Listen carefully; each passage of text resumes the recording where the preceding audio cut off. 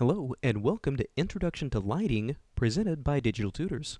My name's Kyle, and for the next few hours, I'll be your instructor, guiding you through some of the essential lighting tools available in Maya.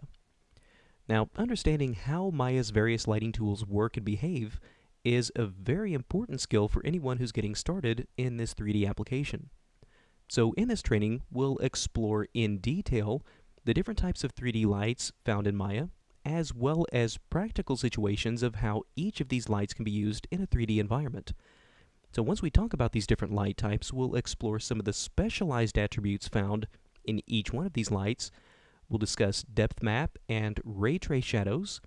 We'll see how we can add depth and mood to our scenes through the use of volumetric light rays, as well as many other lighting tools and concepts. Now finally, we'll take all of these different concepts and see how they can be used together to create lighting for a 3D environment.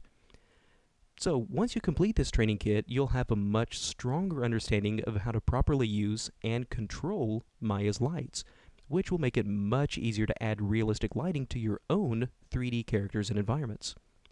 So in the next lesson, we'll go ahead and get started by taking a look at some of the distinctive characteristics found in each of Maya's 3D lights.